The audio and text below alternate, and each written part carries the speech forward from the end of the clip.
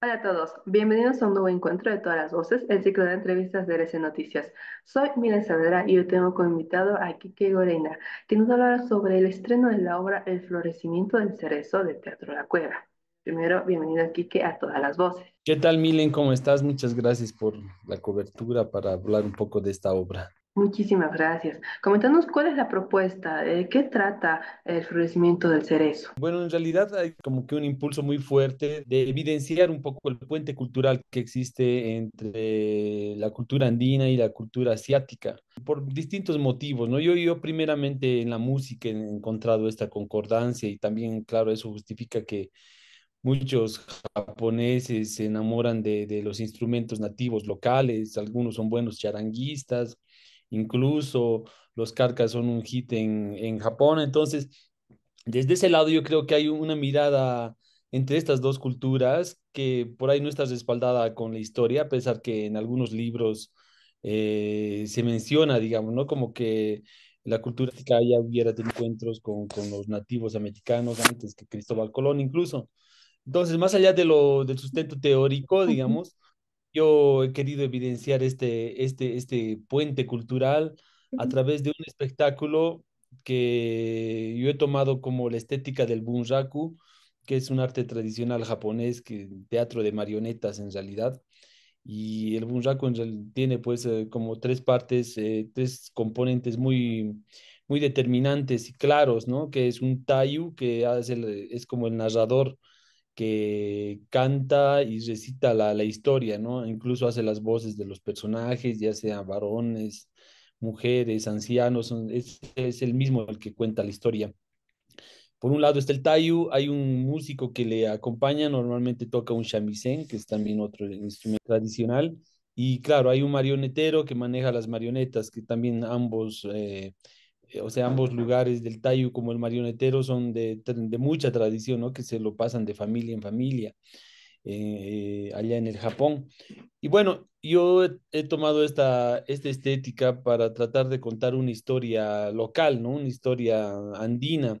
Y en mi historia es un personaje que llega del campo a la ciudad, que se siente un poco atosigado por, por la cantidad de... Mm, contaminación de todo tipo, ¿no? Las voces que le perturban, es como que si se sentiría intoxicado, ¿no? De la ciudad y muy desvinculado de sus raíces, eh, de lo que le conecta consigo mismo, ¿no? Que muchas veces para la, para la cultura andina es la, la, las voces de la naturaleza, ¿no?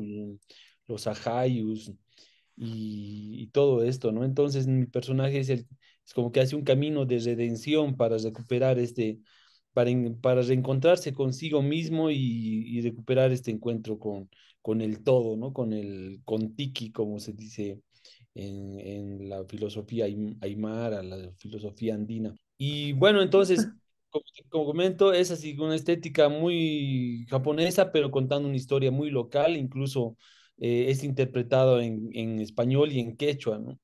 Eh, tengo a, a, dos grandes músicos, Marcelo González, que ha hecho la composición musical y, y, él la interpreta con su hermano, ¿no? Que hacen una sincronía entre el español y el quechua, cantado y recitado en la obra. Y bueno, en la escena están dos bailarines muy fantásticos y queridos de la ciudad, como es Edwin Villarruel, Chucuta que le dicen, y Raquel Márquez, la Kelly.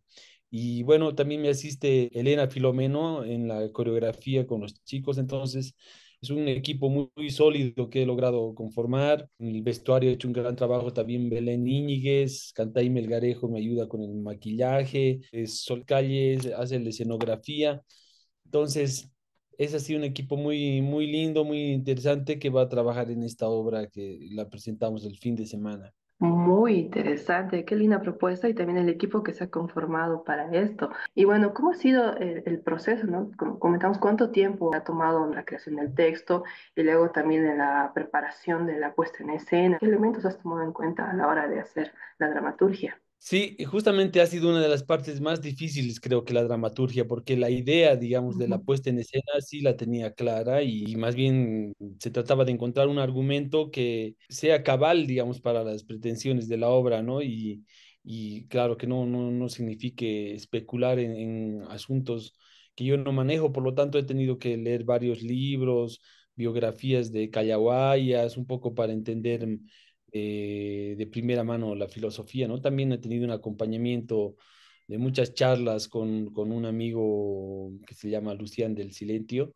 que él me comentaba también, él, es un, él ha estudiado filosofía, entonces tiene, un, tiene una visión muy particular de, de, de su cultura y vive en la ciudad, entonces con él también hemos comentado bastante, en una primera instancia con Oscar García, Francia Olitas, que un poco de ahí ha salido la idea del argumento, ya después yo he desarrollado eh, más o menos en, no sé, pues en unos dos meses, creo, o tres meses el, el texto y en ensayos con los actores propiamente tenemos tres meses también de trabajo.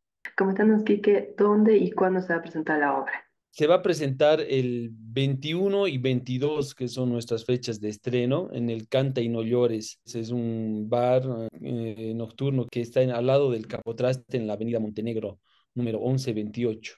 La obra se va a presentar a las 8 de la noche y también tenemos una función de preestreno, que es nuestro compromiso con el CRC, que es el fondo también que nos ha, nos ha apoyado. Bueno, hemos ganado en realidad un fondo a la producción eh, cultural y artística. Y bueno, esa función va a ser el viernes a la misma hora también. Como teatro, La Cueva, han tenido distintas presentaciones, han, ido explorando distintas obras, ¿no? Comentamos un poco cómo está en la actualidad el Teatro La Cueva, cómo han ido eh, las recientes propuestas que han presentado, que han compartido con el público. Tenemos una, una dinámica muy particular en el Teatro La Cueva porque somos dos los directores y dos los integrantes. en realidad los dos integrantes somos directores, que es mi otro compañero Darío Torres, que él también ha estrenado sus obras últimamente, ha hecho el Huillacu, yo he hecho otra obra en codirección con, con Jorge Barrón también que se llama Julián, acerca de Julián. Entonces, y tengo otra, otra obra también que se llama La Búlgara Politique, que está seleccionada en los premios Peter Travesí, que vamos a estar el 29 allá en Cochabamba con esa obra, con, con actores de, y actrices de, de, allá de Cocha. Entonces no dejan de, de, moverse y presentarse en distintos espacios. Genial, Vicky. Entonces, haz nuevamente una invitación, recordamos el lugar, la hora y también cómo acceder a entradas para ver el estreno del florecimiento del cerezo. Bueno, les pediría a toda la gente interesada que visiten nuestras páginas en Instagram y en, Facebook del Teatro La Cueva. Ahí están los números a los que pueden llamar, los QRs para comprar sus entraditas. Y bueno, van a tener una, una experiencia yo creo que inolvidable porque es una obra muy particular. No creo que se haya hecho una obra de Bunraku antes en, en Bolivia, un Bunraku andino yo le llamo, ¿no? Entonces, a ver, eh, espero que verlos por allá. La invitación está hecha. Muchísimas gracias, Kiki. Muchas felicidades. Eh, realmente es nuestro objetivo, como todas las voces y RC Bolivia, apoyar la producción nacional y sobre todo las artes escénicas que siempre nos traen propuestas muy interesantes e innovadoras, como está el crecimiento del cerezo. Eh, tienen las puertas abiertas en este espacio para las siguientes ocasiones que quieras comunicar eh, novedades del Teatro La Cueva y, y, tuyas y colaboraciones también con el público boliviano. Gracias. Muchas gracias y hasta la próxima.